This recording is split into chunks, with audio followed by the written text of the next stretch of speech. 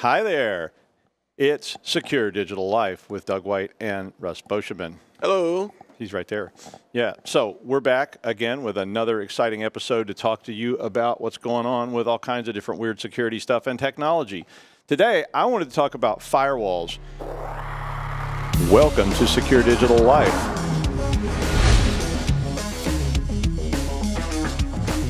And you type in AAA porn or whatever it is you're typing in. I'm sorry. I'm sorry. We, I was at a PG show. And I'm really Yay. excited to be here.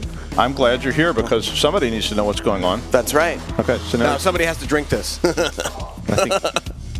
it's another day. It's another episode. yeah, he's looking at the wrong camera. You, Oh, oh, you moved my, you put my camera over here. Eh, There you cut. Basically, forget you ever saw that. I, I think actually forgetting you ever saw that would really be a good idea at this point. People always keep asking me about firewalls and what are they and all this kind of stuff, and and they, they range you know all the way from this. So so like you got these kind of gadgets. This a D-Link. Uh, uh, little home unit, all the way up to things like uh, Cisco 5500 series ASA firewalls, which cost a lot of money and they're really powerful and posh and they can do all kinds of weird tricks and things. But everybody needs firewalls. You need firewalls everywhere now because anything that's exposed out in the world can be touched by other people. And so you basically are walking around like you're on the biggest, greasiest subway platform that ever existed on the earth, and you really don't want everybody touching you because no telling what you're going to catch, right? Right, right? I mean, right. what, what you want to you want to yeah, like wearing rubber gloves when you're walking around. You know, not rubber, but you know, kind of like vinyl gloves, like to protect Yeah. yourself from viruses and bacteria and stuff like that. Exactly. But your house is sitting there, or your phone, or even your car now is sitting there 24 7 on. And that means that people are touching it. I mean, I guarantee it. And you can go look at those things if you, even with these little ones, you can go look at the logs in these little systems and all of a sudden find everything out. So I was going to tell you how they work because I've been teaching this stuff for a long, long time. All the protocols were built in the 70s. So when they originally designed all these networks back in the 1970s, they came up with all these protocols, which are called IEEE specs. Mm-hmm. And that's the International Engineering, Electrical Electrical Engineering. Engineering and uh, something. I don't know. It's an acronym. Everybody just calls it IEEE, whatever it mm-hmm. is. I'm a member of it, so I guess I should know what it stands for. But I don't know. I'm a member of all kinds of things. I don't know what they stand for. But I was going to tell you a little bit about how that kind of thing works. So when when someone is using the internet, and, and all of you do this, what's going on out there is everybody ends up talking to something called a daemon. And it's spelled D A E M O N. So not like you know the the Lord of the Underworld demon. No, not like that one, but it's kind of like that in a way. Mm-hmm. But, but but it's spelled D A E M O N, and people often mispronounce it as Damon. That's which, how I used to say it. Yeah, you don't want to say it like that. It's a daemon, and it's a computer science term. And a daemon was a small program that waits for something, and it could do all kinds of different things. But in the modern age, a lot of daemons wait for someone to say hello. And that's what you do every time you use the internet. Mm-hmm. So the minute you want to go to a website and you type in AAA porn or whatever it is you're typing in, I'm sorry, I'm sorry, we, I was at a PG show. So when you try type in Disney.com. Disney.com, we'll shift that back to something sane. Di- Disney.com, your system actually communicates with a daemon that's called an HTTPD daemon, and it sends out traffic. So the way this works is something like this. Look, I used analog. Russ inspired me. Russ inspired me in another episode to use analog because he was demonstrating something. So I'm using analog too. See, I can do old-fashioned things like this. but this is a good example.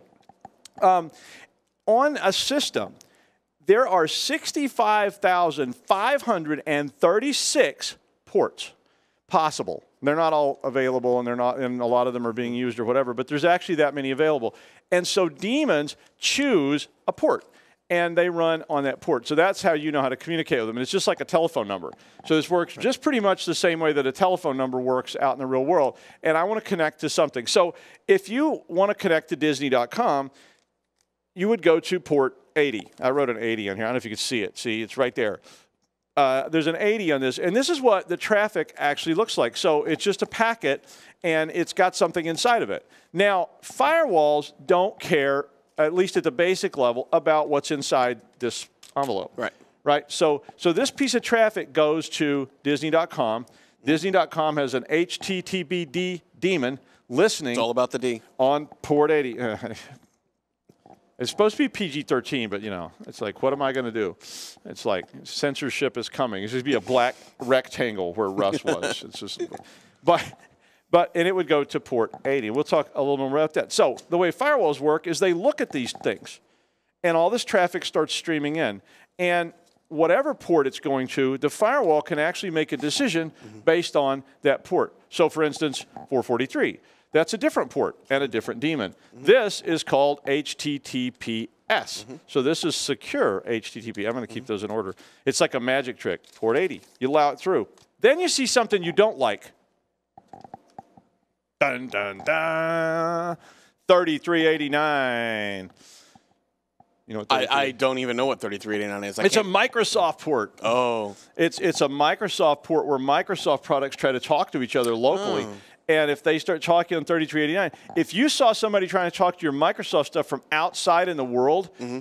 you definitely don't want that to be going on, right? Right. I mean, I mean, there's all kinds of these ports that nobody wants to see. So this kind of traffic is going to be gotten rid of. Yep. That wasn't effective at all.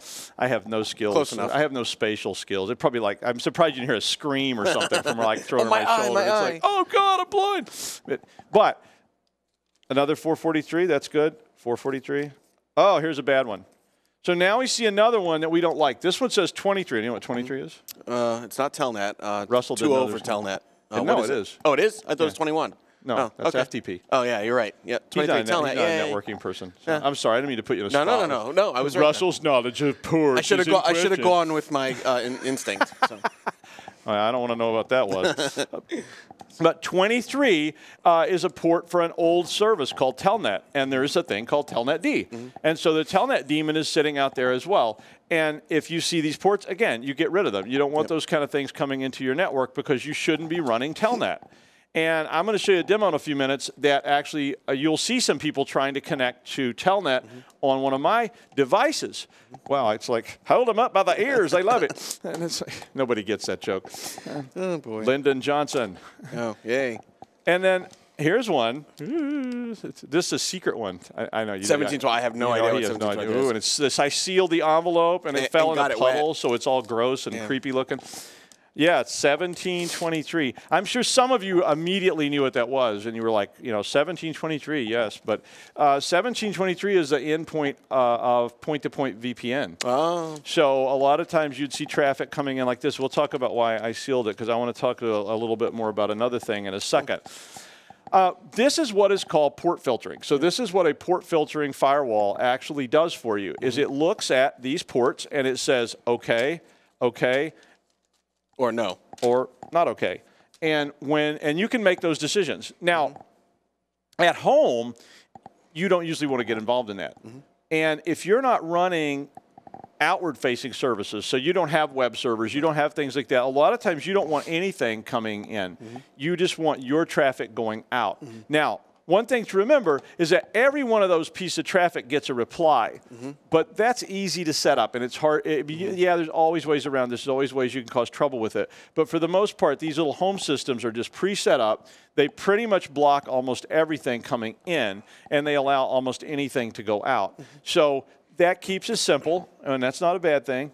Because if it gets complicated, and you start fooling with it, then you open ports, and next thing you know, Why can't I get onto my FTP client or whatever? well, yeah, and one of the more common ones that, that I get asked about is like for gaming platforms. Right. So if you have like a PS4 or whatever, and you want to connect to the yeah, I can't do my PlayStation updates. are you, and, and then other gamers want to allow connections to come in. So mm-hmm. this was a real common one that's very dangerous Yep.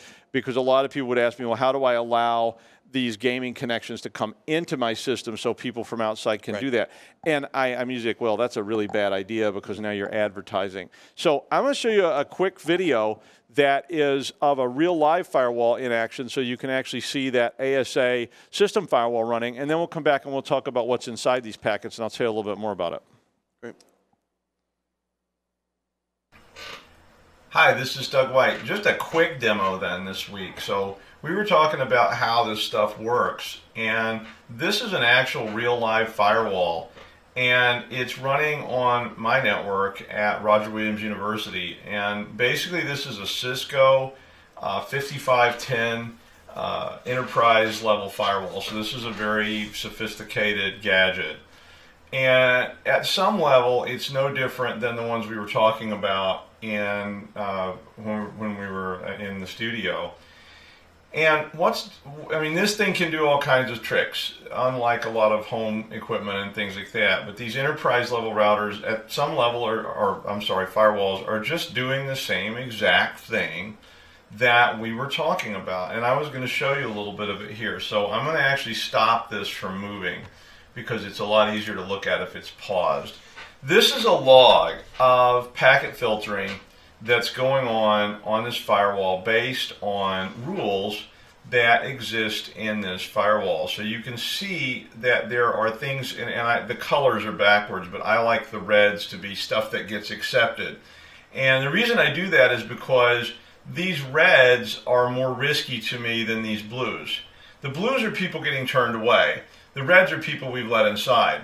A lot of these people are legit, but we want to be sure, and I like to be able to notice that we have stuff going on. Now, sometimes I have I have oranges here. This was a little, it's hard to see that this is orange, but I have oranges here about certain things that are getting denied uh, based on certain criteria that I find problematic. Let's look at a couple of these just so that we understand what's going on based on the demo that I did in the studio. So you can see there's a source address of a packet, there's a destination address of a packet, but what we really care about here, and we can certainly block things based on these addresses. So if I decide one of these people is a bad person, I'm going to block their IP address. And if I think they're changing their IP address, I may block a whole bunch of IP addresses and that's called blacklisting.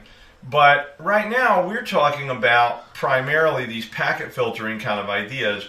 And you can see a lot of these are probes from possible hackers.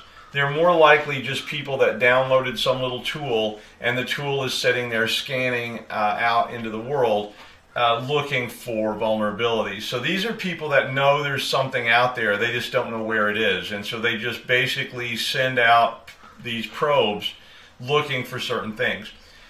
Um, let's look at like um, now you're not seeing a lot of normal traffic here either because that all I don't log all that normal traffic. So if I see something that's expected I don't necessarily log it. Let's look at this one.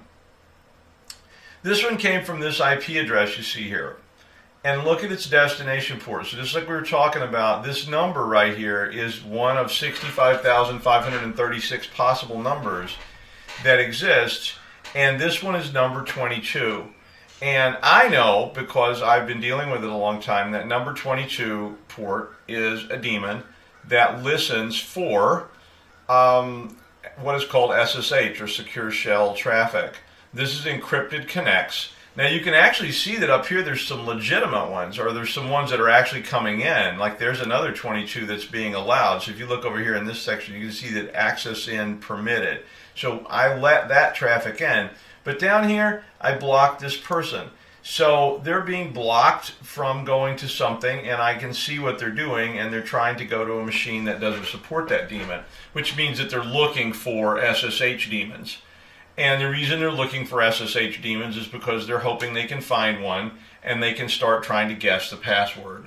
So they're just probing the world, or it could just be a mistake, but it's probably somebody looking. Let's look a little further. Here's a port 80. Now, port 80, as we we talked about in the in the studio, is the most common port probably on the internet because basically that's a web server. And a port 80 daemon is called a TCP daemon, and it's or an HTTPD daemon. Sorry, it's it's an HTTPD TCP process daemon that is listening for attempts to communicate with websites. Now what someone's done here is they're attempting to go to a web server that doesn't exist. Now that may be an old web server that we took down because our network's very dynamic. Uh, or it may be somebody, it may be a connect. I'm guessing this is a connect to an old website. We had a website for a long time. Somebody probably has a link to it that's automated. And so every so often, and the website's not there anymore, but somebody tries to hit that link that's still up on another page. You see those trying to come in on port 80. Then there's all this chaos stuff. There's just all kinds of traffic. And when you see people probing all these things, they're looking for certain kinds of traffic. And if they find it, it may be something that's a huge vulnerability in a known system. So the reason that we monitor these things is to try to watch for behaviors like this. Like I see one right here. Look at this guy. Now this guy was allowed because he's he's looking at something that's valid, but he's trying to go to port 22 and he's just switching between machines. And he and is it the same person? No, it's a different one. You see two attempts on different numbers. So that could just be somebody who forgot the number that they need to go to, or they may be somebody up to no good. Now this one I know is up to no good. And this one's flagged because this is somebody trying to go to port 23 and a port 23 daemon is a telnet daemon. And telnet is one of those old services that we don't use anymore unless we're foolish, but a lot of people still have it open. And so these guys go out and probe, and you can see it's the same person and it trying a few times to hit this uh, service. I don't know why, because it's, oh, I see, you know what he's trying to do? I, I know these addresses. What this person's trying to do is they're trying to log into my router and uh, they're trying to see if I have foolishly allowed Cisco Telnet access to be open on my router, which I have not, but you can see that that's being blocked by this firewall. So the point of all this is, look at how much traffic we captured in just a few seconds. And this is not a high profile network. You can imagine what someone's firewall like this looks like at, say, the FBI or the White House, and how much traffic that they would generate from people trying to see if they could get in. These are, for the most part, most of these are Ill illegitimate uh, attempts to try to find things, and you can tell by the numbers. And if you ever want to look up these numbers, you can just look them up and see what services they relate to. And there's big listings of all these. Now, they don't have to be that either, but they could also be malware uh, that is running, I mean, or that they hope is running. So they just go out and probe the whole world looking for something running on port 7547. I don't know what that service is, but here's somebody who probed it. So if they go out and look for that, that's exactly what they're trying to do. So that's just a quick demo of what uh, firewall services look like uh, when they're actually defending you. Okay, thanks. Back to the studio. All right, so in, so in that video, now you see that, that there's a log showing all this stuff that's out there probing uh, my systems. Mm. And, and that's going on 24 7, every day, all day. And, and you say, well, gee, Doug, I don't know, that was a big fancy system. yeah, right. Uh, I'm not a high profile person like, say, the FBI or, or somebody like that who just gets slammed constantly. But even at your house, if you go pull down this system at your house, mm-hmm. there are people probing for all these kind of things all the time. One of the things they like to look for is Internet of Things mm-hmm. because they love to find that you have Internet of Things devices that are sitting at your house, like thermostats and light lights, bulbs, yeah. light bulbs, yep. uh, blinds. I saw one the other day where you could control your blinds and mm-hmm. you know make the blinds open and close. Microwaves, and refrigerators, yeah, toasters, all that stuff. Yeah. So if I want to hack your refrigerator mm-hmm. I'm looking on the internet and I will find out that LG refrigerators have a daemon that's listing on port whatever and I start probing for it, like you saw in that demo where those people are just mm-hmm. sending out wildfires trying to find certain key things. So, mm-hmm. so that's sort of the baseline of of packet filtering type firewalls, and, yeah. and that's that's how that very simple device screens and tries to filter yeah. that. And you can filter on the address too. So just mm-hmm. like blocking calls, which is a really similar thing. I don't want you to call me. I don't want my ex to call me. I block the, that number. I don't have an ex really. Well, yeah. a long time ago, but my wife's still there, I think. I met her once. I met her for the first time. He did. She's not an actress. Well, so it appeared she was not an actress. But do you have, do you have any other comments? Yeah, I mean, the, the, reason why Doug was talking about IoT devices specifically, and, and we've talked about these in previous episodes on uh, of SDL, is because those devices uh, are newer and they're they're not secure. Uh, they don't have built-in fire. Well, they're not fully secure. They don't have built-in firewalls. They don't have uh, built-in uh, security uh, protocols that would help us uh, or help people who own them not experience you know. yeah, I mean, there's there's no standards for IoT at this point in right. time, and it's something that if you watch Security Weekly or you watch any of the other shows mm-hmm. on this network, you'll hear us talk about all the time. Mm-hmm about how there are in these boxes there are there are chips. Mm-hmm. We don't know who made the chips. Well, mm-hmm. we do, but we don't know how they were made. We don't know if they were made in a, in a very standard way or if they went out and they had 50 people programming them. the chips could have stuff in them. Right. They could have malware in them. They could have daemons in them that you don't know about. Mm-hmm. Now you can scan all this, of course, and you can try to break it and find daemons that are listening or whatever.